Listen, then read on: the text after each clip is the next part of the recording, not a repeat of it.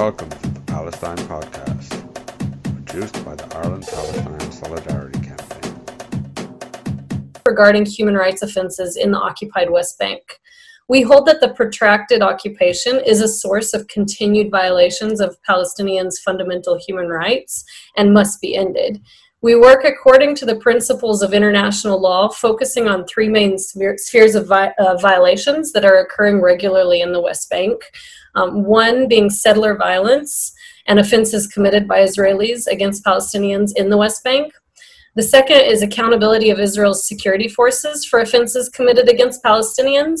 And the third is the takeover of Palestinian lands. About two years ago, we began discussing the possibility of examining the crime of apartheid, um, which at the time was 13 years following our documentation of human rights violations in the West Bank, which is now 15 years, um, and using the legal framework of occupation. We began to wonder if this framework was sufficient to explain the human rights violations that we were consistently documenting. This also came at a time when, for the first time, Israeli officials began to more explicitly state their intention to retain control of the West Bank permanently. The process of um, quote unquote de facto annexation and also under the radar moves towards creating a permanent presence in the West Bank were already underway for years um, which Yesh Din had been documenting for a long time with reports um, such as Under the Radar and From Occupation to Annexation, um, which examined the uh, Levy Committee's recommendations. Um, which was a committee that was appointed by the Israeli government to basically um, see how different measures that the Israeli government could take to retroactively authorize um, what was considered unauthorized Israeli construction in the West Bank. Um, but it was in 2017, following the passage of the regularization bill by the Israeli Knesset, the first time the Knesset explicitly legislated over the West Bank, and following a numerous outright statements by politicians and officials regarding annexation and intentions um, in Israel's intentions to create a permanent presence in the West Bank, that we began to be concerned that perhaps uh, the laws of occupation were not sufficient. The word apartheid has been in the discourse for a long time, but has often been misused or casually tossed around. And we wanted to provide a really solid analysis that's deeply grounded, a conservative legal analysis based solely on international conventions and legal frameworks available. So, after over 50 years of occupation, we chose to examine whether the laws of occupation um, are sufficient or if another paradigm, apartheid, could explain the situation in the West Bank. I'll let me, I'll let Michael explain the reasoning behind the geographic scope more, but one of the primary reasons that we chose to stick with the West Bank was that this is Yesh Din's scope of expertise and our mandate, and the area in which we have the most solid information available for a legal analysis. And so the long process led us to where we are now, and I'm going to pass it to Michal to give uh, the full content of the legal opinion which he authored for Yesh Din. Hello, thank you very much. Um, thank you, Gerard, and thank you, uh, Sharona and Munir, for being with me today. And um, I want to thank the hosts um, that convened this webinar. It's really an important topic for, for us uh, at Yesh Din.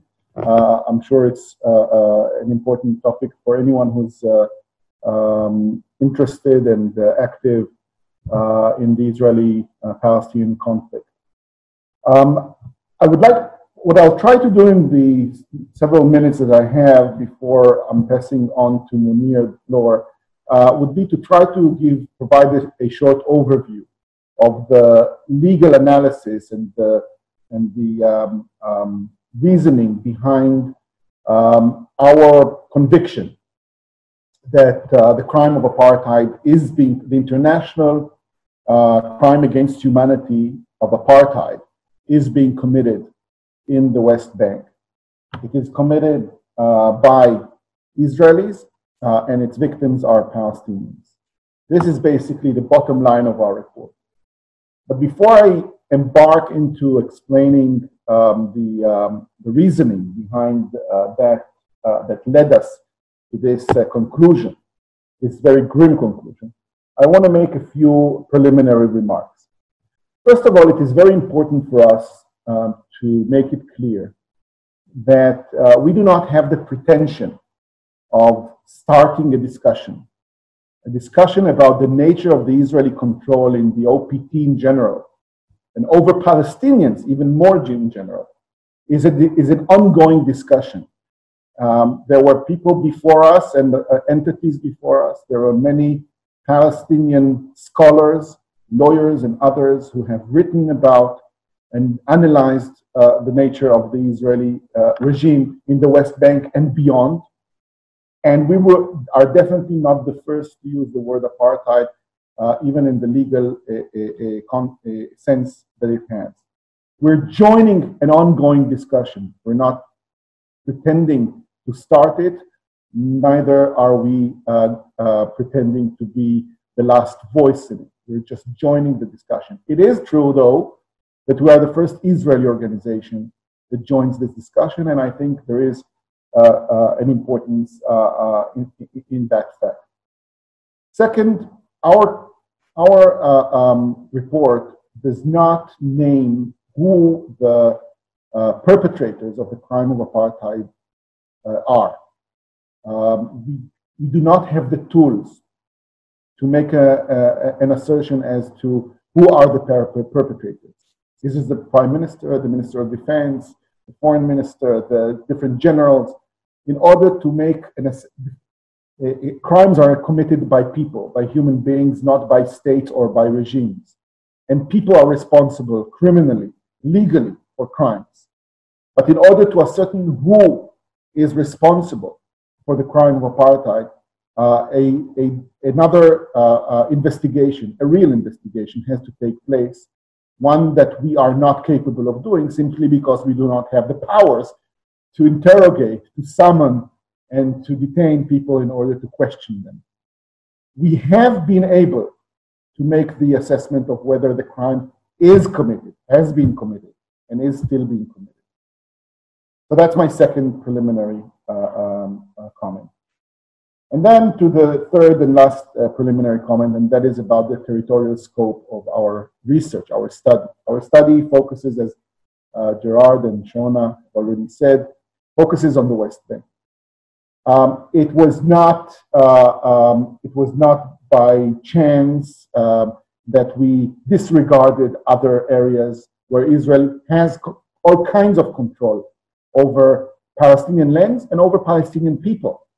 It has control over Palestinians, of course, in East Jerusalem, in the Gaza Strip that is under um, a uh, more than a 12 years long, um, very cruel siege where Israel controls the borders, the airspace, and although it doesn't have a, a, uh, uh, permanent land presence, it does have uh, um, uh, a presence and control, an effective control over that territory. Israel also have control to some extent over Palestinian refugees who are not allowed to go back uh, and return to their um, uh, lands. So the question of the scope of the study is very relevant. However, there were several reasons that we've decided to uh, focus on the West Bank. First, as Sharona said, this is our mandate. Um, and this is our expertise. We know the West Bank very well. For the last 15 years, we have been very intensively and very intimately uh, working in the, in the West Bank, and we know very well every policy, every practice uh, uh, that uh, Israel uh, and Israeli authorities apply in the West Bank. We represent hundreds, probably even more than hundreds, of victims throughout the, we have represented throughout the years, victims of settler abuse, victims of police brutality and, and military uh, uh, um, um, breaches of rights. And so this is the area that we know best and we can analyze because analyzing the crime of apartheid needs a very well acquaintance with policies and practices. Um, and this is our mandate also. So that's definitely one reason. But then uh, uh, there is another one.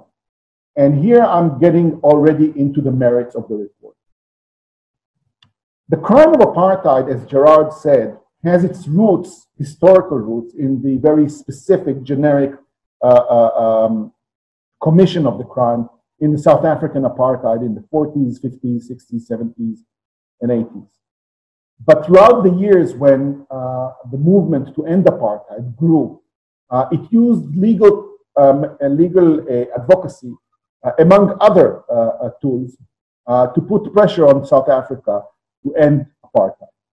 And um, this pressure has culminated into um, international treaties which defined um, what the regi- a regime of apartheid is and uh, criminalized um, the acts that um, pertain to um, prolong such a regime, to empower that regime, and to maintain it. And so we have two international treaties. One is the uh, Apartheid Convention, the International Convention for the Suppression of the Crime of Apartheid from 1970, 1973.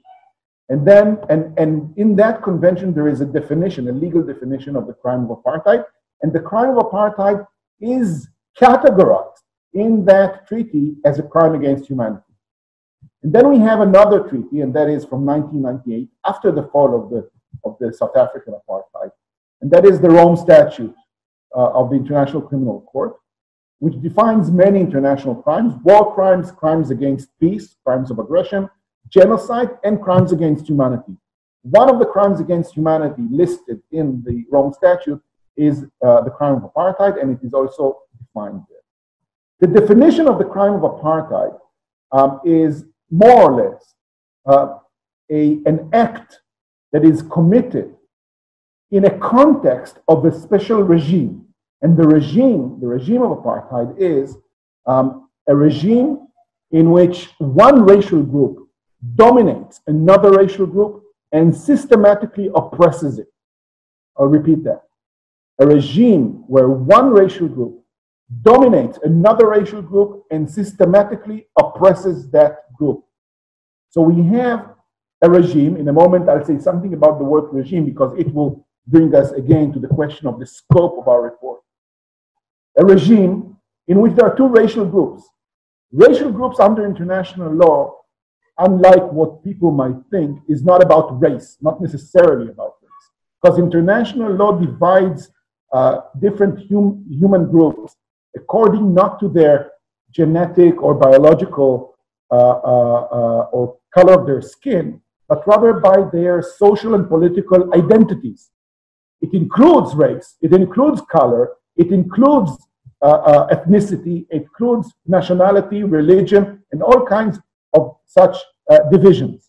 And so there is no question that Israeli Jew, Jews are a racial group and that Palestinians are a racial group. There are two ethnic and national uh, uh, uh um, categories. Now, we in the in the in in in, in Palestine, um, Israel is controlling the West Bank in a belligerent occupation. A belligerent occupation by definition, is a, a regime, a military regime of domination and oppression. Every occupation is such. Every occupation of people who do not want to be occupied is a regime of domination and oppression. Why? Because international law itself, the laws of war that uh, regulates the situation of, of occupation, um, is, um, is um, um defining the occupier as an authoritarian ruler of the occupied territory. An occupied territory is not a democracy. This is what international law prescribes. And so the, the military commander of an occupied territory embodies the legislator, the executive, and the judiciary for the duration of the occupation.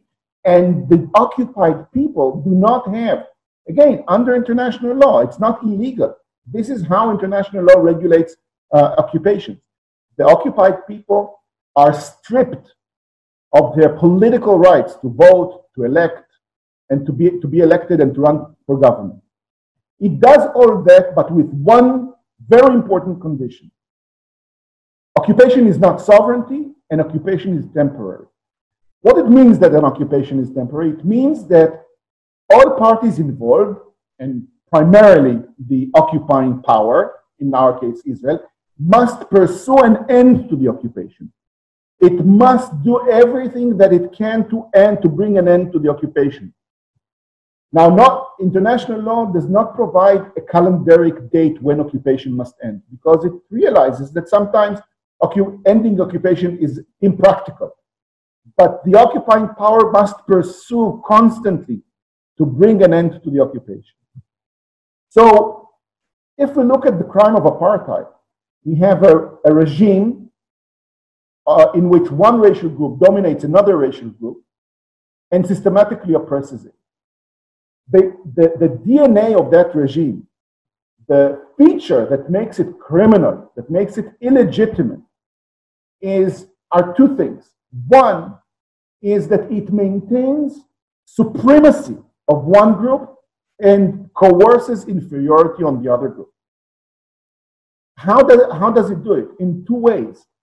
By denying rights to the inferior group and showering the superior group with, with rights and powers and privileges, and by denying resources to the uh, uh, uh, uh inferior group and diverting all the resources to the supreme, to the group uh, that has supremacy. The Israeli occupation is not an ordinary, I don't know if there is such a thing, ordinary occupation, but it's unique in the sense that it includes, as you all know, a significant, very important feature, and that is colonization. It's not a military occupation, and that is that.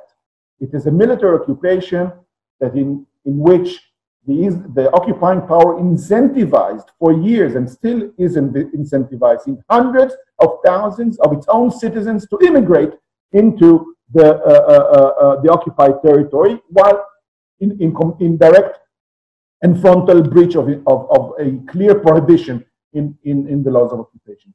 So Israel has created a racial group, a civilian racial group in the West Bank of hundreds of thousands of Israelis Israelis who have all the political rights, they have a right to vote and to be elected and to run to government, and they have a share in the processes that that that tailor the norms that govern their lives and the lives of Palestinians. Palestinians do not have any of these. And this immediately, like a power, like a physical force, created the exact reality that international law wanted to prevent by prohibiting uh, uh, uh, settling an occupied territory. It created a constant diversion of all the resources of the occupied territory to the, set, to the Jewish settlers at the expense of the Palestinians. I'll give you one figure. The main, the most important public uh, resource, land. 99.76% of public lands that have been allocated by the military government during 53 years were allocated to Israelis, 99.76%. Less than a quarter of a percent of public lands that have been allocated in 53 years of occupation have been allocated for Palestinian use. And even then, most of these lands that were allocated for Palestinian use were for Palestinians who were coercively removed from their lands and were relocated in another land to allow uh, expansion of settlements. 200 and something settlements were created in 53 years. Not a single Palestinian village or town was, uh, was acknowledged. I can go on and on and on. There are 59, 60 pages of the report. You can look it yourself. There is absolutely no, no, uh, no uh, uh, uh dimension of public life that Palestinians have not suffered development or even curbing of their development, and, and Israelis were showered with, with uh, resources, with funding, and, and, and with rights. And so we have a regime where one racial group dominates another group and systematically oppresses it, and the oppression is also clear. We are we have listed in the report the uh, some of the many uh, uh, uh legal and other uh, coercive tools that are applied employed by the Israeli authorities against Palestinians who want to criticize the government, want to organize, to assert, to create, to establish associations, you name it. Political, political activity by Palestinians is intolerable and is met with uh, with a blatant force by the Israeli uh, uh, state and by the Israeli authorities. So what we have is basically a regime where one racial group, as I said, dominates and oppresses systematically another racial group. Now, where does that regime take place? And this is what the question of why we chose the West Bank. International law does not um, does not define what a regime is. And in order to understand what a regime is, one needs to go and look for the uh, for the uh, um, content of that concept in other disciplines, in political science, in history. And basically, a regime is the totality of public authorities that have power to make decisions and implement and carry them out, of a normative framework of laws, bylaws, directives, a normative framework, of policies and of practices. All of this together is a regime. And when I say that, that means that there are different resolutions. When you look at the, at the, at, at the uh, uh, Israel-Palestine map, and you ask yourself, okay, so what, what is the regime here? Well, one can say there is one political power between the Jordan River and the sea, and that's the government of Israel. So that's the regime. The regime is the, is the government of Israel with all its powers and, and different authorities in different areas. That's one option. And this is an option that we do not deny that can be the uh, uh, uh, focus of study. But then if we look closely at the, we took a lens of a higher resolution, we can see that yes, there is one political power, and that means that that political power is morally and legally responsible for everything that is done in all of the land. But there are two sets of public authorities, of governments, of, of uh, laws, uh, of normative framework, of policies and practices. One in the 1949 ceasefire line borders or the Green Line, uh, which I will term Israel proper, where you have a um, parliamentary civilian uh, uh, regime. And then you have in the West Bank a military regime. And you have in the Gaza Strip a siege, which is a completely different method. So it is possible to, to uh, make a choice about what in what scale you want to uh, study the issue. As we said from the outset, we have made the choice, it's a choice, to look at the West Bank because we know it so well and because there is a big community of Israeli settlers there, which creates a reality of two racial groups, a real reality in the same area. But East Jerusalem is the same. And East Jerusalem should be the focus of probably our next report or someone else's report. Uh, and th- there are many who say that Israel in itself should be also scrutinized through the lens of the crime of apartheid. Although whoever will do that study will have to um, confront with the question of whether when the, the, inferior racial group, and in this case it's the Israeli Palestinians with Israeli uh, uh, citizenship, and they have the right to the political rights to vote, uh, to be elected, and to run for government, does that still is so diluted, so uh, uh, uh, um, um, worthless that you can still um, ascribe to that regime a systematic, the, the degree of systematic discrimination and oppression that is needed for the crime of apartheid. So throughout the years, Israel, and, and now I'm getting to the last, you know, we've gone through the issue of having two racial groups under one regime where one of the uh, racial groups is uh, uh, uh, superior to the other and coerces inferiority over the other and uh, dominates the other and, and, and, and systematically discriminates. That is an apartheid regime. That is not the crime of apartheid. That is an apartheid regime. And an apartheid regime is illegitimate and must end. But the crime of apartheid is committed when people, human beings, usually leaders, people in, in, in places of, uh, uh, of power, generals, when they may, when they commit um, what international law calls inhuman acts, inhuman acts, in the context of such a regime, and with the intention to maintain that regime, to perpetuate it, to make it eternal. Because such a regime of domination and oppression is still not apartheid if it doesn't have the pretension to be eternal. If it's something temporary, if it's something temporary, then it is not, it is many things. It may be other crimes. There is definitely racial discrimination here, maybe persecution. There are many other options and even criminal options, but it's not apartheid. Apartheid is only, the crime of apartheid is only committed when you have this special intention to perpetuate that uh, illegitimate regime. And the inhuman acts that are committed uh, are ones basically there I, I, can't go into all of this because it's a very complex matter but but but very roughly i would say that inhuman acts um, are mainly acts to deny um, human rights basic human rights from people because and according to their group affiliation.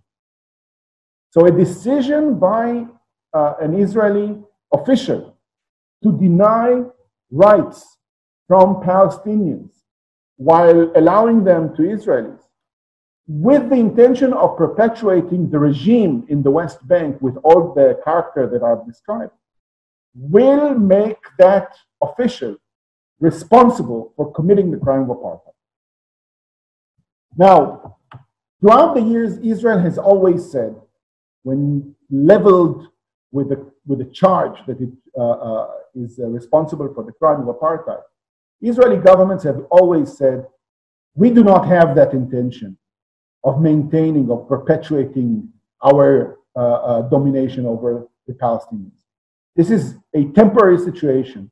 We want to have a peace negotiation with the Palestinians. We want to get to an agreement. And when we have that agreement, they will be masters of their own fate.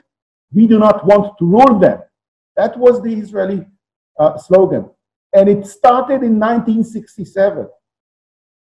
The Israeli foreign minister in 1967, Abba Eban, already said things of that sort in the Security Council debate um, that took place in November of, of that year and ended with the adoption of Resolution 242, the very important Resolution uh, 242. And since then, for 50 years, all Israeli governments have said we want to have peace. We want to have a peace process. We want we don't have a partner. We do have a partner, but basically we do not want to, to, to control the Palestinians and dominate the Palestinians. These words, of course, collide with the deeds of all governments, and everything they've done on the ground was the complete opposite. The complete opposite. Changing the landscape, uh, creating a, a Jewish uh, uh, uh, settlement, huge enterprise, all of that show is, is our circumstantial evidence, very, very uh, powerful circumstantial evidence that Israel was striving to eternalize its presence and domination over the land and the people. But you know what? We don't need that anymore. Because in the last three years, since 2017, since Trump took power and Netanyahu was able to take its real policy out of the closet, we are no longer facing with words that say something different than the deeds. Israeli governments are pursuing, in the language of uh, Netanyahu, a gradual annexation policy, a policy of gradual annexation, which means Israel is openly stating that it desires, it is striving to eternalize its uh, control over the land, the West Bank, and its people. And so, by its own words, the Israeli government has shattered the only alibi that it might have before. Now, I want to leave as much room as possible for Munir to, to speak. So I will stop here, although I can speak for another two hours easily. Uh, and I'll pass the floor to you. Uh, thanks, uh, Michael. Um, I'm sure that you can talk for two more hours. Um, and thanks for this very uh, passionate um, and, and very um, good uh, presentation. It gives a lot of, of, of information, and I, um, I see already quite some questions coming in. So um, uh, yeah, I think it was very good. Um, I would like to give the floor now to um, or the screen to Munir. Munir, it's you. Yes. Thank you very much, uh, uh, Gerard, and uh, many thanks also to uh, Sharona and Michael uh, for your uh, presentations and, and, and for your work. Allow me to start my timing and to start my screen sharing. Okay. So uh, again, uh, again, thank you very much uh, for uh, for hosting me and uh, for this uh, important um, um, event that you are conducting, um, and also the very important topic that we are discussing today um, regarding apartheid in the West Bank, as um, the report of um, Din has explained. But my presentation is uh, to go a little bit beyond the uh, report of, of, of Din. So um, I, I do recognize and ac- agree with and, uh, and accept the uh, results that were concluded uh, by the Din report, um, that there is indeed apartheid in the West Bank, an apartheid regime in the West Bank. Uh, but in this, I'm also going to offer a, a, a wider uh, scale. And this is because um, the way I see um, the um, Din report is like a piece of the puzzle. So Din has explained, uh, both Sharona and Michael have explained to us uh, that their um, choice to write a specialized report on the West Bank and uh, to analyze apartheid in the West Bank is because Yesh Din's uh, mandate is in the West Bank, excluding Jerusalem. Uh, and therefore, the information and the material that Yeshdin works with is their own information. So, um, in, in that way, I see uh, this important report as uh, only a part of the puzzle. Uh, the big picture includes this, certainly, but can only be complete when we can see other elements and other geographical areas and um, uh, older and newer and different types of violations that uh, cross actually with this, uh, with whatever has been discussed in the report, however, can be different in some cases. Uh, so my uh, presentation will be, uh, uh you know, uh, to try to, I, I, will not complete the puzzle because it needs much more research and much more work and much, uh, and a much bigger presentation again. But I will try to give examples of how apartheid might also be seen as one of the features of the Israeli regime in general and uh, but I, I would I should also recognize that I see this report uh, of Yesh Din as an important step forward coming from uh, an Israeli organization. I know that Israeli organizations and individuals and uh, um, from left and right have been uh, looking at the term apartheid as, as a taboo uh, even people would not say the term, they would say the A word. Um, and uh, uh, it's a taboo. It's something that people don't want to talk about because it undermines uh, the state or the regime. And it has been the main feature of discussing uh, human rights in Palestine has been by looking at certain violations, measuring them against certain standards of international law, finding that these are actually violations and calling for their stop or for reparations, etc. But it is very important at this point, um, and in fact, it has been important, but it continues now to be important, to look at the whole regime because we cannot solve the problem unless we manage to find what it is to actually uh, diagnose this problem. Um, and I've heard from Michael that an apartheid regime should end. So when we keep talking about specific violations, then the problem is only these violations. If the violations stop, then we are okay. But when we talk about a regime like the apartheid regime, then we are actually uh, addressing the real problem, which is that a certain regime should end. We cannot coexist with the continuation of a certain regime that uh, um, maybe lies to us and tells us that, yeah, he, this regime is engaged with the peace process, so wastes our time with that, as Michael has um, uh, said, actually. So, so that's why I think it's very important. Um, and it's very timely. And I think uh, uh, this report, with many other efforts that are going on from uh, uh the Palestinian civil society, uh, international civil society, regional civil society, uh, are also um, working on the same issue, and um, and and I think it's it's it's it's great. So my question here again is that is the apartheid regime applicable only in the West Bank? And I like cartoons. This is a cartoon artist uh, who passed away. Um, um, uh, his name is um, Baha Bukhari, who drew this maybe in um, when when Israel was building the wall. Um, so in this, in, in the following slides, I'm going to actually just give some examples of what I think are other features of this regime. And I'm starting from the beginning, and we, uh, um, I think, should always uh, try to start from uh, the early stages of the history demographic engineering, a term that I actually pleasantly uh, read also in the in the report, and I've, I've, I've used it before in my own writings as well.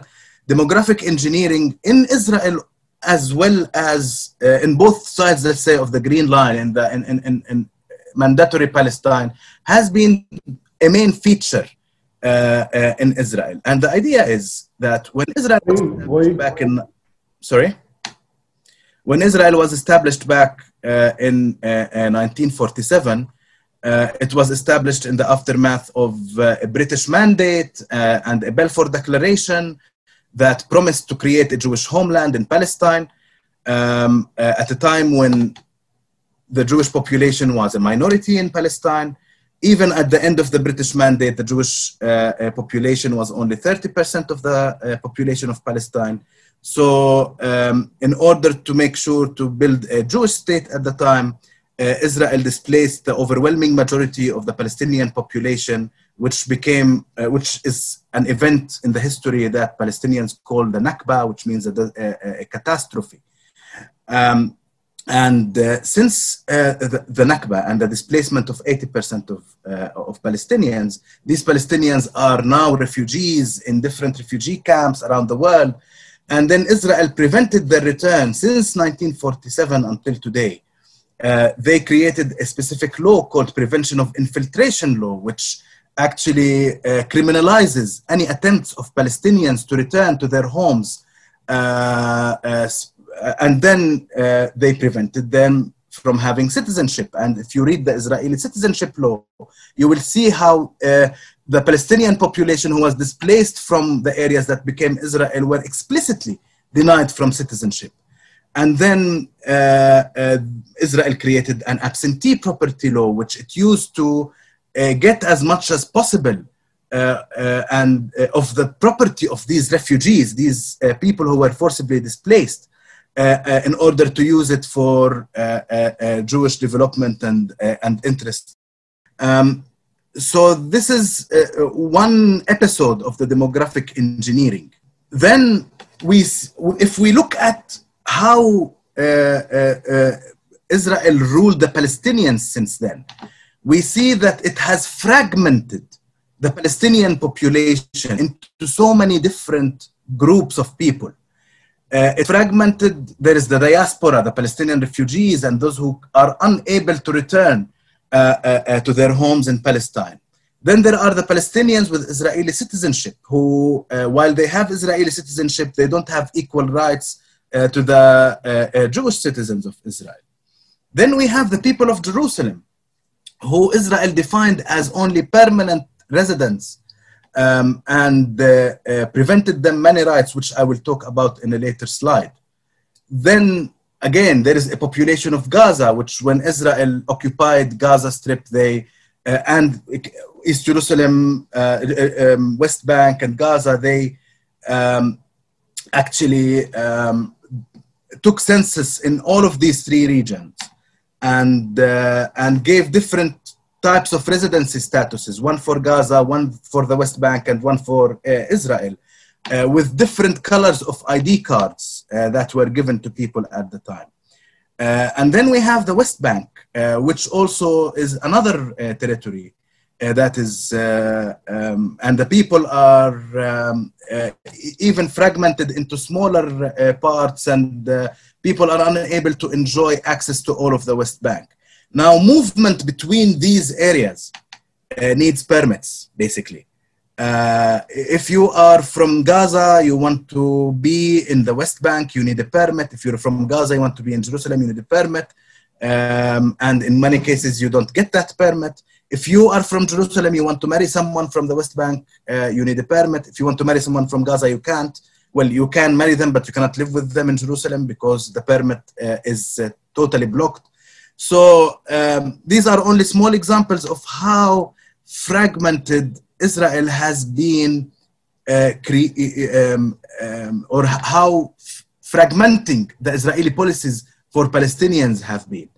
At the same time, you will not see at all anything similar to that within the Jewish population. If you're a Jewish person uh, with an Israeli citizenship, you have the right to live in uh, any place you like within uh, uh, the areas that Israel considers as part of its own state. But also, you have the right to live in any settlement in the West Bank freely.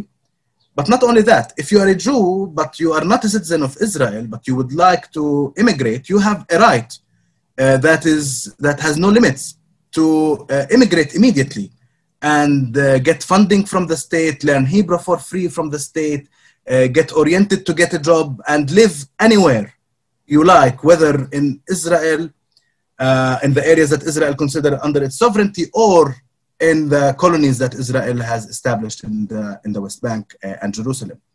So uh, you can see how uh, this image, which which also we can talk about for hours, um, is another aspect of a bigger domination. The Palestinian people who used to be, who are, I mean, we do define ourselves as one nation, as one people, are fragmented into different different groups with no right to be together or to travel freely between one space and the other, whereas the Jewish uh, uh, population is totally free. Another example that I wanted to give is um, the Bedouin communities, and this is uh, an example that is applicable in the West Bank, of course. Israel does not recognize uh, um, most of the Bedouin communities' uh, place of residence in the West Bank, despite the fact that many of the Bedouins, for example, this picture is from Abu Nuwar, it's from Jahalin, southeast of Jerusalem. Uh, you can see the bulldozer is, demonst- is demolishing uh, uh, a place of dwelling for people.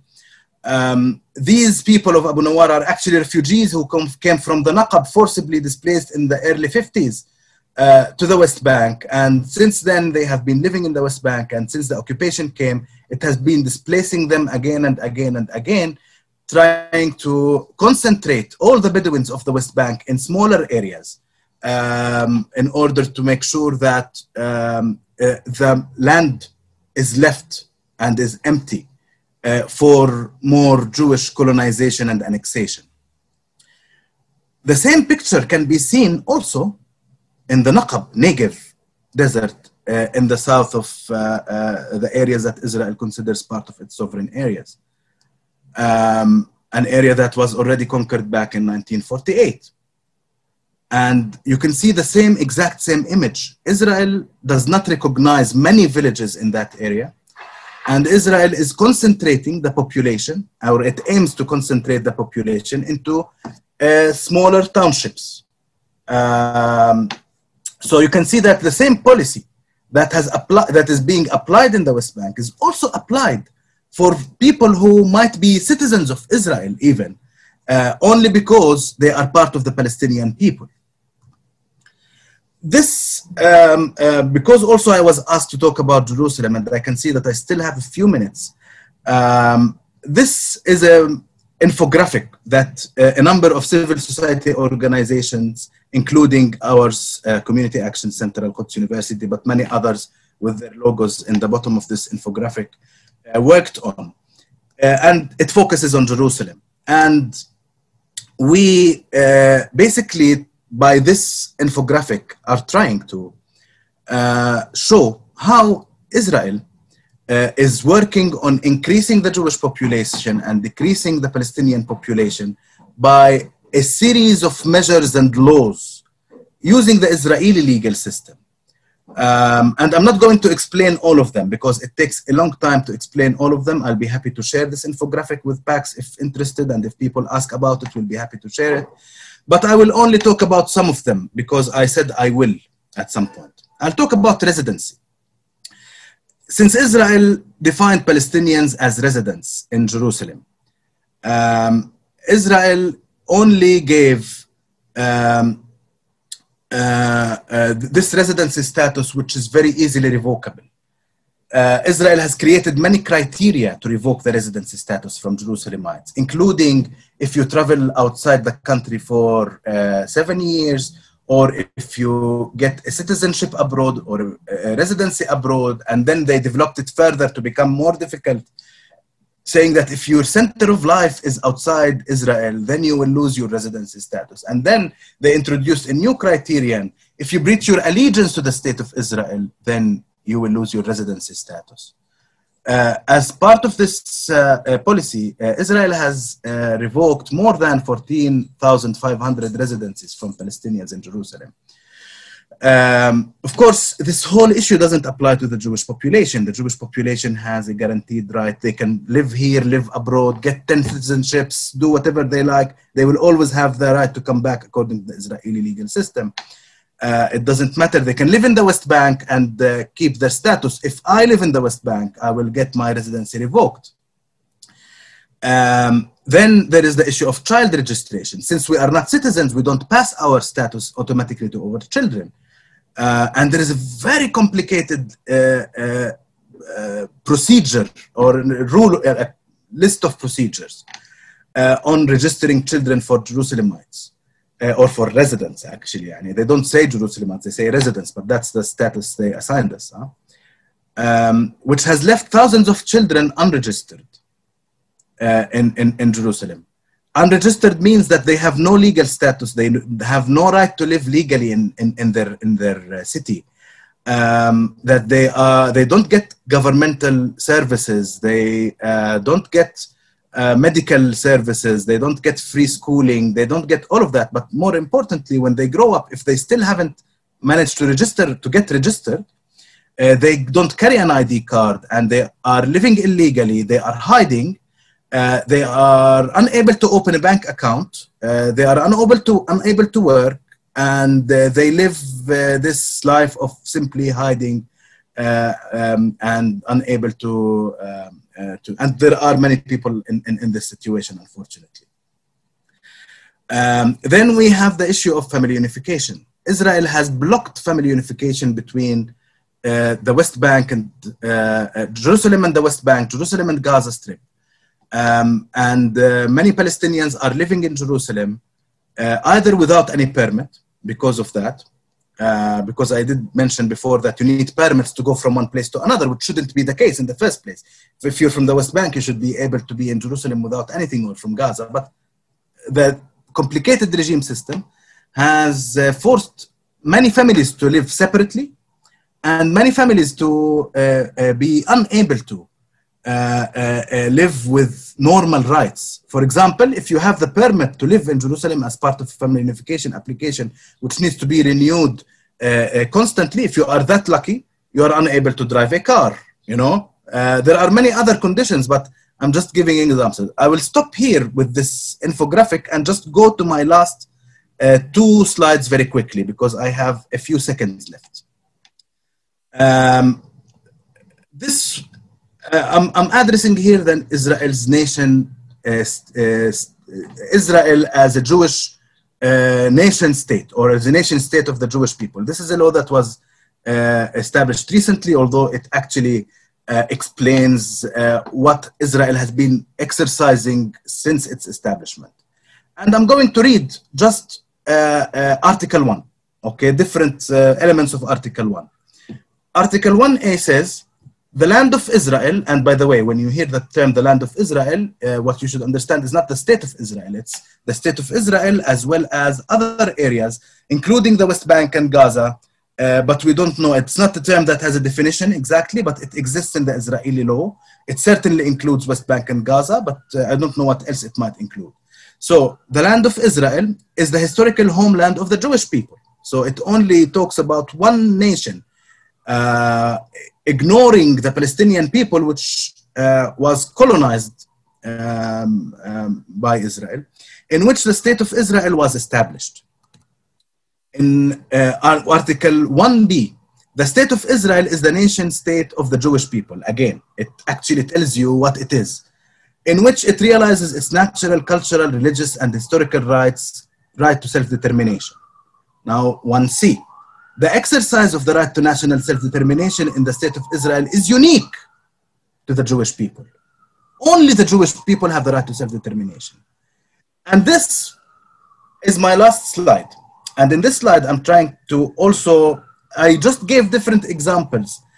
And I haven't finished this puzzle that uh, uh, I, I argued at the beginning of this presentation that is, is, is, is, is not complete, of course, by, uh, by the report. But what I'm trying to say here is that the domination and persecution and discrimination uh, of Israel against the Palestinian population is very systematic and it is part of the whole foundation of the state.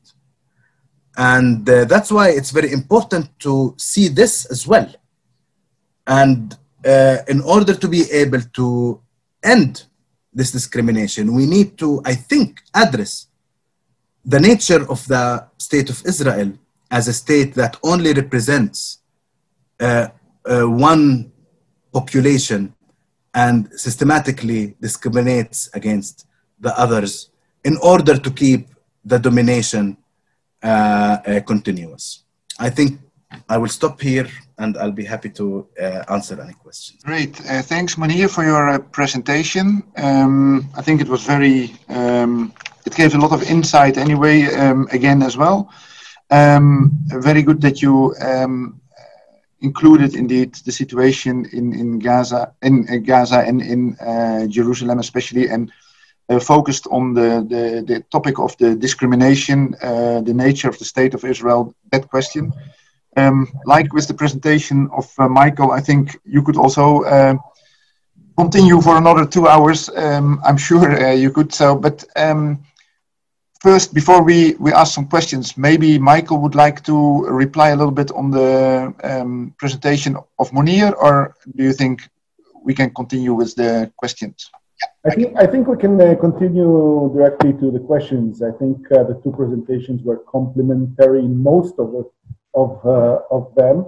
There are some uh, uh, um, criticisms which I accept of course. But I think in the Q&A we can delve more into that. Okay, great. So uh, let's start with the uh, first question. The first question uh, is for Michael.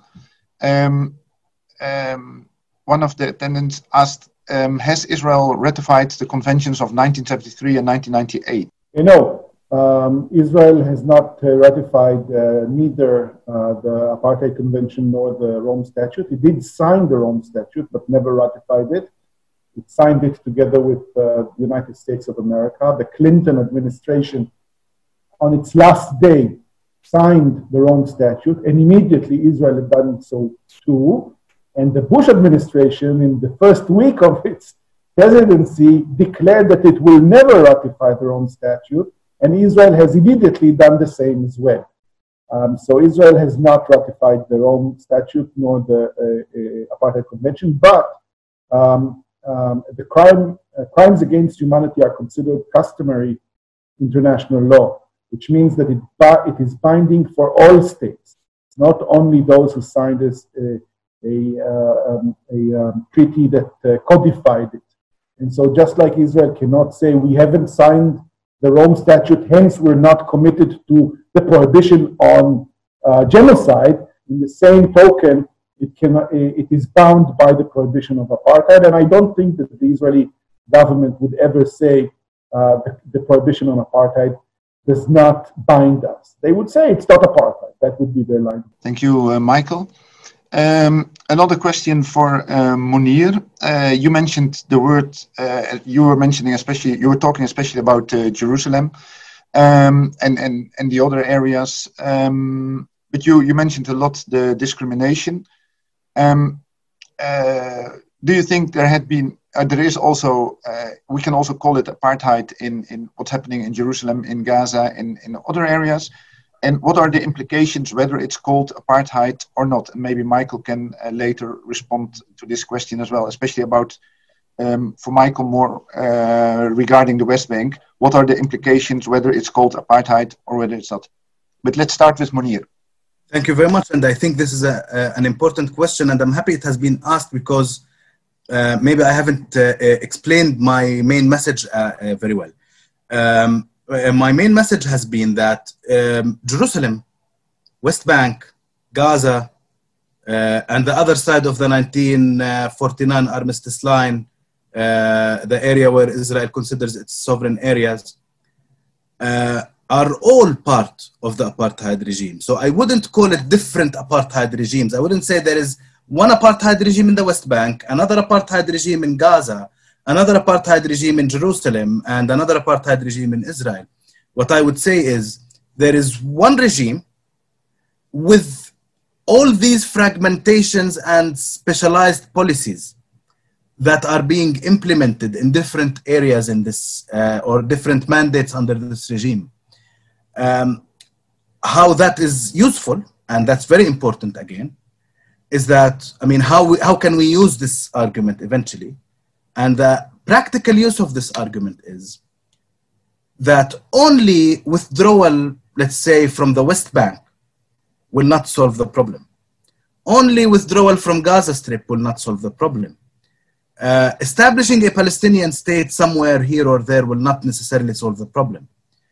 Uh, or, I mean, it's established, but uh, having sovereignty for the Palestinian state that has been established uh, will not solve the problem. My argument is it's absolutely necessary to end the apartheid regime and have something else instead.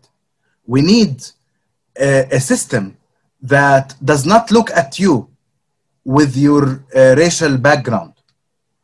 And this is regardless whether it will end up with one state or two states. I'm not here in this presentation. I'm not actually arguing in favor of a specific outcome of the conflict. But I'm saying even if the Palestinian state that is under occupation now becomes free, it doesn't mean that the apartheid is over.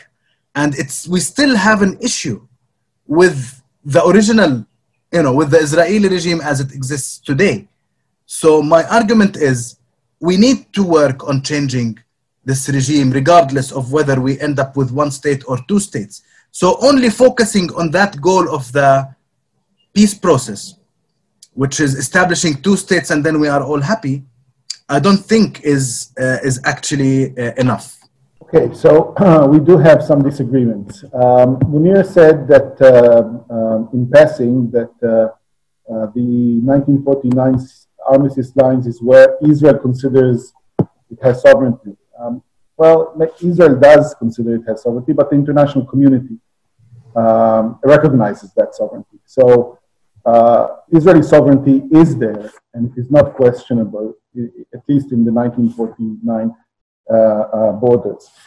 Um, I have not done a careful uh, study um, of the question of whether um, the reality, the legal reality uh, in Israel itself, when it comes to the treatment of Palestinians who have Israeli citizenship, um, amount to the to the degree of the crime of apartheid. I didn't do it, so I will not uh, uh, make any uh, absolute statements about it. But my gut feeling, my um, legal instinct is that it, it, it does not meet the threshold, the very high threshold for inhuman acts and systematic oppression and domination and discrimination that is needed in order to, um, uh, to commit the crime of apartheid. Israel has been discriminating systematically against its uh, Palestinian uh, citizens. That's no question about it. It had uh, in the past uh, confiscated much of their lands. It has done many uh, crimes against these people, against this group. Um, but in order to ascertain that it is that the crime of apartheid is there, you need to reach a very very high threshold. And when you have a system where the same laws apply to each with discrimination in, in some issues like immigration, very important one. I'm not I'm not uh, uh, disregarding that. It's very important. But, it, but uh, political rights are being, are being conferred on all. It is difficult to say that an apartheid, that this is an apartheid regime. Um, if you look at the totality of between the Jordan River and, and the sea, then, then, then it's a, a more difficult question. Then it's a more difficult question. But if you look only in Israel, for me, it seems uh, uh, difficult to ascertain that it is an apartheid.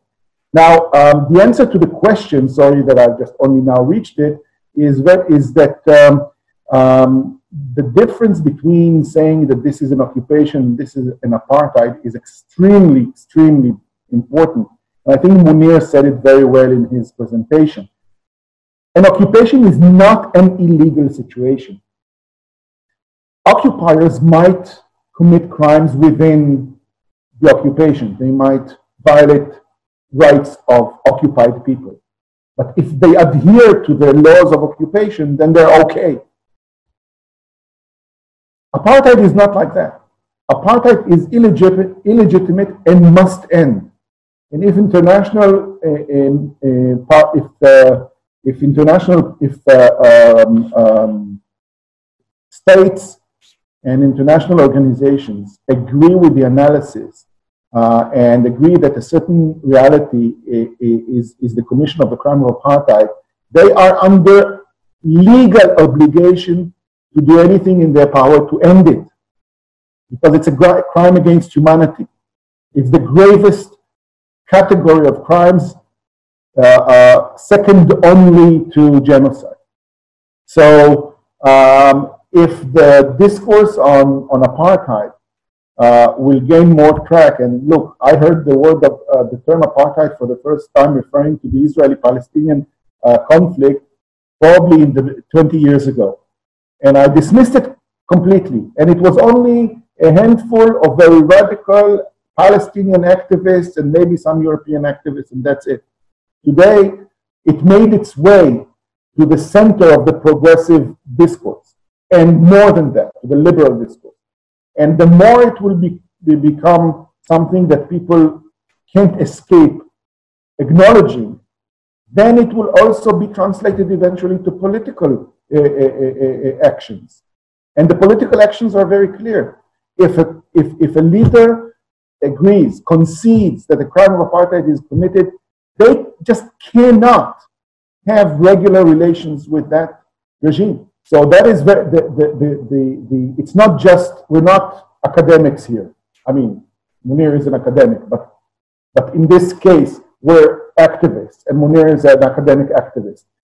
And we're, and it's not just a, a, a theoretical or, or semantics. It's about uh, creating obligations on third parties. Great, thanks for your uh, answer, uh, Michael. That was actually another question as well, a little bit more specific indeed, uh, about the legal obligations for third parties. Uh, maybe uh, Munir wants to touch a little bit on it uh, again as well, on, on, the, the obligations of the third parties, what um, the third parties could do and should do. Um, third parties should um, um take it seriously. Unfortunately, um, what we have been hearing as response to Israel's violations of international law uh, has been in many cases condemnation at best. Um, we haven't seen over uh, the history any practical um, events or actions taken by um, most of the uh, or part an important part of the international community. More importantly the more powerful the more the wealthier uh, part of the international community. In that way i'm referring to you know europe uh, north america um, australia etc uh, these uh, uh, countries while they in some times in some cases they condemned uh, certain actions they continued business as usual after the condemnation but not only that they also uh, resisted uh, any uh, measures in the international community taken to hold Israel or Israeli individuals accountable. For example, we know very well that uh, the European Union, for example, has resisted uh, uh, uh, uh, the Palestinian joining Palestinians joining the International Criminal Court, which eventually gave um, the the court jurisdiction over uh, over Palestine. We also know uh, that Israel resists, uh, that the European Union, uh, including yani, the Netherlands in that case, have resisted uh, the resolution that was uh, issued eventually by the uh, Human Rights Council in Geneva uh, uh, only to list the names of international companies that invest in the West Bank, in the occupied, in the, in the Israeli colonies settlements in the West Bank. they resisted very hard uh, it was impossible to convince them. Uh, and they still resist and they still are against that uh, step.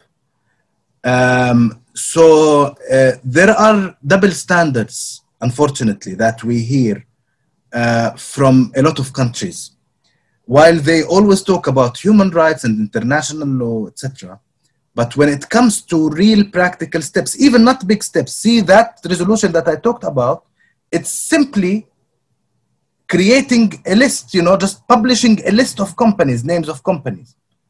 And they, um, they were totally against it and they're still, they still are. The European Union boycotts item seven in the Human Rights Council. They don't actually attend the sessions of item seven where Palest- the Palestinian uh, issue is, is, is being discussed uh, in the Human Rights Council.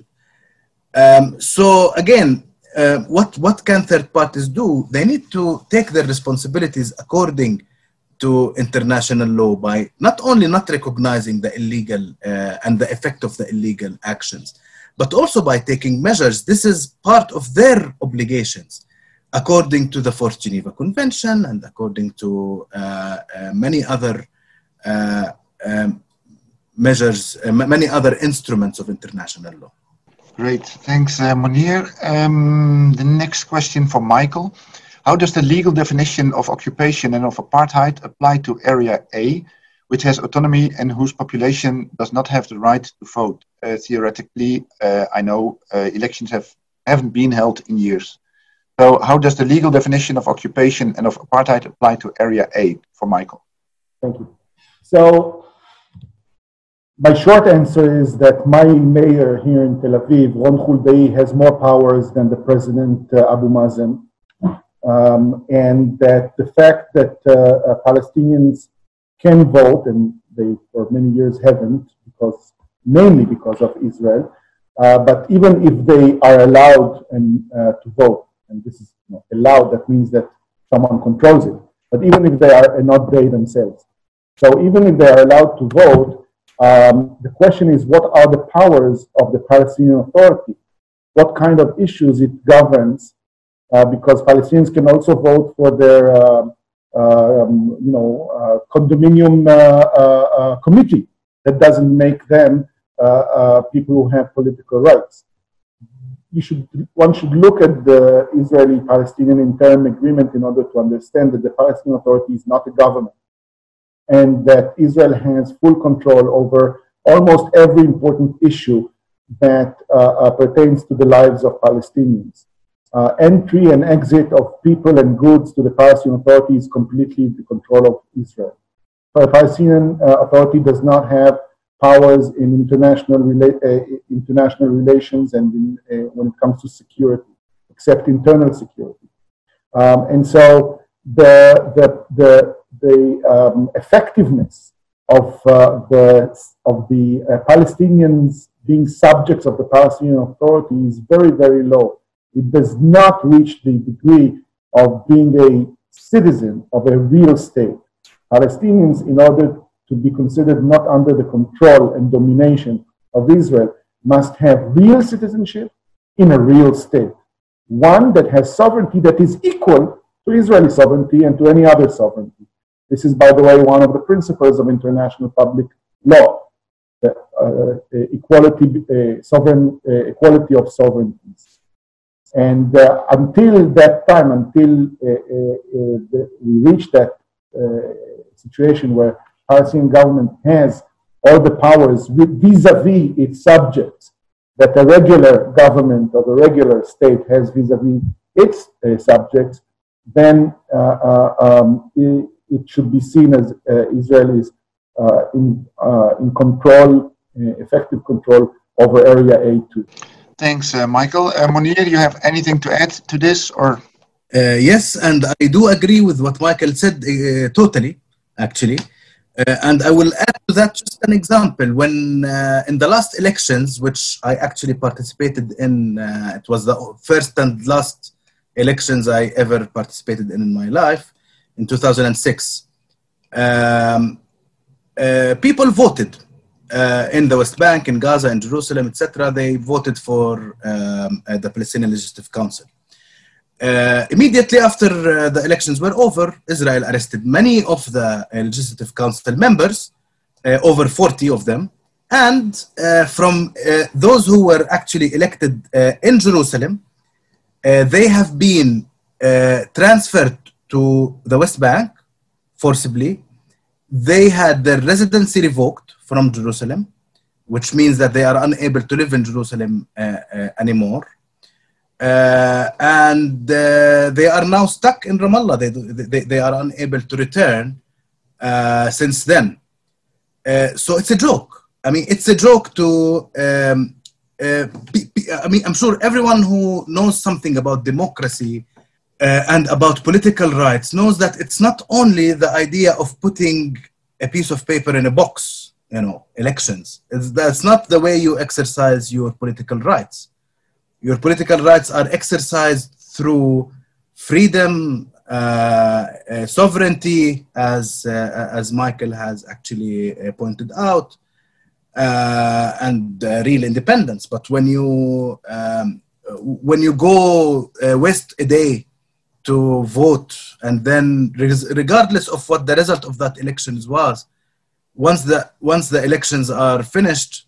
Um, even the world boycotted the, this uh, uh, government that was uh, that came out of the uh, elections uh, because of uh, lack of satisfaction with the result So it's it's it's not real. It's not real. We cannot talk about it as a you know as political rights. Thank you. Thank you, Munir, for this um, yeah, addition. Um, the next question is for both of you. Uh, the 2017 uh, ESCWA report on Israeli apartheid found that the main tool of Israel's apartheid regime is based in the strategic fragmentation of the Palestinian people into distinct legal, political, and geographical domains and the interactions between these domains. Thus, considering the West Bank in isolation not obscure the true nature of Israel's apartheid regime, particularly as Munir has pointed out that Israel, Israeli apartheid policies and practices exist across both sides of the Green Line and similarly target Palestinian refugees denied their rights, uh, their right of return. So um, yeah, maybe you can start Munir and then uh, Michael can, can answer. Yes, I mean I, I, I do I do agree, and this is what I try to uh, uh, to present. I I do believe that uh, um, um, Israel has created um, a regime of apartheid. Uh, it has created a situation of uh, Jewish superior superiority over uh, the Palestinian people in Palestine. Uh, this uh, did not start in 1967. It actually started uh, as soon as the state itself was established. Um, and it continues until today. And when I mentioned laws like uh, the absentee property law and uh, the prevention of infiltration law and uh, and you know the denying the right of return and all of that, um, I, I do add these as elements in that regime. Uh, Jerusalem, the city in which I live, uh, yes, we. I've talked about so many um, measures that are being Uh, uh, conducted for uh, in, in, in the eastern part of Jerusalem where there are Palestinians living. But the western part of Jerusalem, there are no more Palestinian li Palestinians living because they were all displaced back in 1947 to 49 during the war. And even though now the borders between East and West Jerusalem are open because there is no, because Israel annexed East Jerusalem and considered it part of its sovereign areas again, uh, together with the Golan Heights, that is also Israel considers them part of its sovereign areas. Uh, now there is no borders, both of them are under the same regime. You cannot claim that your house in West Jerusalem, uh, even if you have all the documents in the world that prove that it's your house or your father's house, etc., you cannot claim it because you are considered an absentee.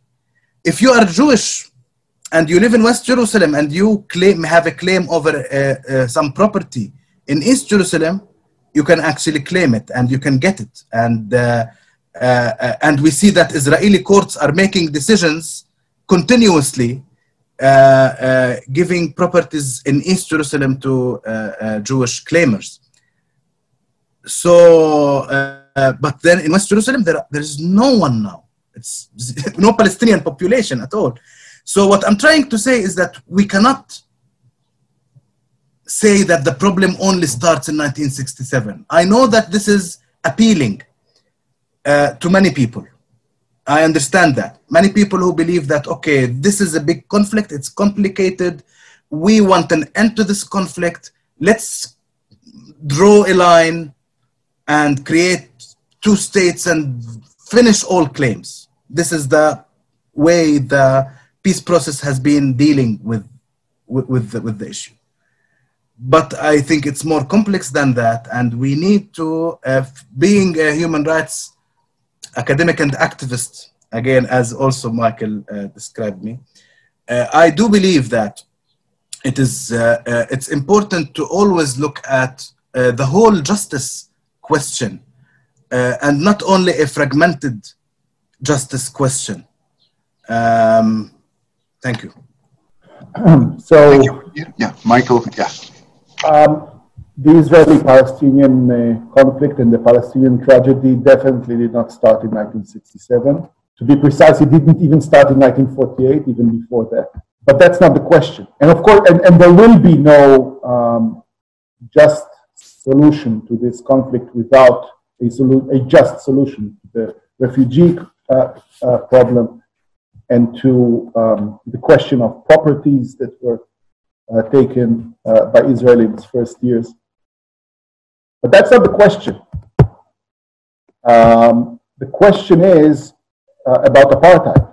And the wider we make the concept of apartheid, we are risking making it nothing. Because if it is everything, that it, then it is nothing. And uh, there are many, many crimes that have been committed in the framework of this conflict, including uh, uh, uh, forcible displacement of masses of people, deportations, confiscation of lands, persecution, all kinds of, of, of uh, uh, crimes. And we shouldn't classify all of them as apartheid. We should look very carefully in order to maintain a serious uh, uh, um, uh, content to the crime of apartheid. If we do not have two racial groups, then there cannot be any apartheid regime. In Gaza, there are many crimes that are committed. Apartheid is not one of them. It's not one of them because an apartheid regime is a regime where you have two racial groups under the same government, under the same uh, uh, laws, under the same, not laws, but the same normative framework. And, um, and so I, I, I'm not belittling the gravity of the situation and some of the Israeli actions by saying, let's be careful not to extend the term apartheid to include everything. We have other things. Israel has done many things. And, uh, and it doesn't mean that I, that I disagree that uh, the, the crime of apartheid can be examined in a territorial scope that is much larger than the West Bank. Of course it can, but it should be examined if all the, uh, uh all the uh, uh, conditions are met. Two racial groups, domination and systematic oppression with the intention of perpetuating them, and all of that with inhuman acts that are committed with the intention of perpetuating that regime. Israel has, I'll stop here. Thanks, uh, Michael. Um, yeah, I'm afraid uh, the next question will be the last one, unless you're very fast in responding. It's um, uh, to Michael, and I think it might also be interesting to hear opinion of Munir, and maybe also Sharona uh, would like to to um, to react. In challenging and countering the regime and crime of apartheid in Palestine, where should Israeli civil society and the international community stand on the ideology behind it? And this, the Zionist settler colonial project, which for more than 100 years has used several tools, including apartheid, to consolidate its control and eliminate, uh, eliminate uh, Palestinians. So, um, yeah, so the question is where should Israeli civil society and the international community stand on the ideology behind it? Not sure I understood the question. Um, where should the, uh, the Israeli civil society stand is, is, a, is a question that I understand. I'm not so, um, sorry, uh, where should Israeli civil society and the international community stand um, uh, in challenging and countering the regime and the crime of apartheid in Palestine? So, I think um, that these are two different uh, parties and they have different uh, um, roles, I think. Israeli civil society um, is on a crossroad. And Yesh Din, let's talk about it. Yesh Din is on a, in a crossroad because we cannot conclude that the crime of apartheid is being committed and continue business as usual the day after. It obligates not only third world countries, uh, sorry, third countries, but it also obligates us. It means something about how do we conduct our struggle. Um, we have used to define ourselves as an opposition, opposition to the to the uh, policies critical views about uh, uh, the Israeli government uh, um, um, actions. But an opposition is part of the regime. Opposition is part of the entity that it, took, and it is an internal section of it. Once we defined the regime as an apartheid regime, we are no longer an opposition. We are dissenters. We are we object to the regime, not within the regime. We object to the regime. We want to end it. We say that it is illegal, illegitimate. And how will that be translated into the means of our struggle that is yet to be seen? But I think we are on the verge of many dilemmas. How do we proceed? How do we act if the ICC indeed decides that it has jurisdiction over Palestine? What what will be our uh, position in uh, uh, regarding that immense strategic tectonic um, occurrence? How what, what kind of, of demands and asks we have to the international community? It's no longer let's ask the international community to condemn settlement expansion and to demand that Israel stops doing this or that. It's about ending the regime.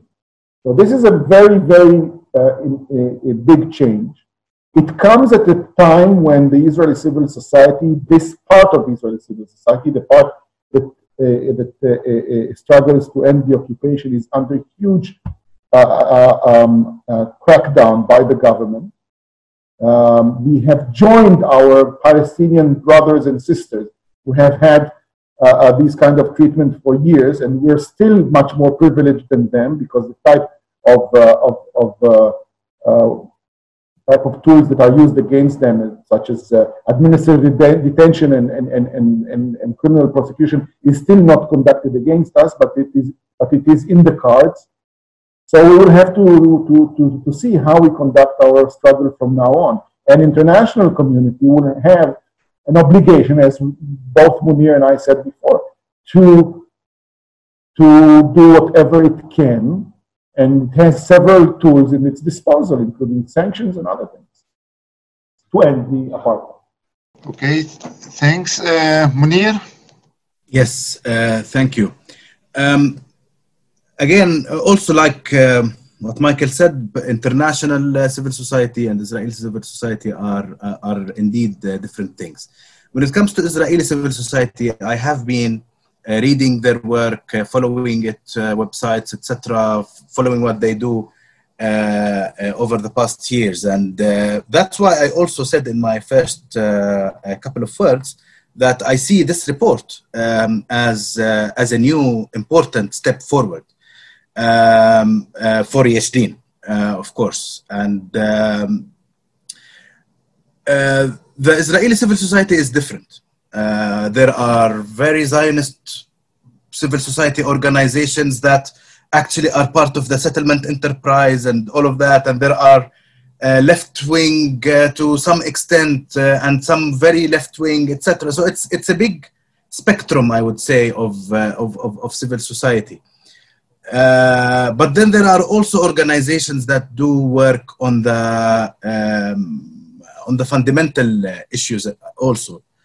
Uh, like Zochrot, for example, it works on uh, the right of return and all of you know these issues. And uh, in my uh, former experience, I've uh, I've seen that Israeli civil society or like human rights organizations, let's say not all civil society, but human rights organizations specifically, they have been documenting, analyzing uh, advocating against uh, using the Israeli legal system to, uh, to defend and to document. And these were, of course, important steps. Now, if I want to invite them to, to something, I would invite for um, um, taking a more uh, fundamentalist in the human rights sense, not in the religious sense, obviously, uh, a more fundamentalist uh, approach uh, as much as possible. Um, and uh, to try to do something that would, uh, th- this type of analysis, and even to take it further, of course, you know, the type of analysis that you've done, and I think it's a great step forward, uh, but even to take it further in order to look at the different elements that of injustice in order to finally be able to uh, uh, reach uh, a situation where um, where justice can be actually exercised by everyone uh, between the river and the sea. So this is to the uh, Israeli civil society. Now, the international uh, human rights organizations, I would actually uh, call them for the same to uh, try as much as possible to, uh, of course, to look at all the details, but also to look at the big picture. And the big picture is very important um, in order to establish um, a better situation and to call for the big change rather than the smaller changes only.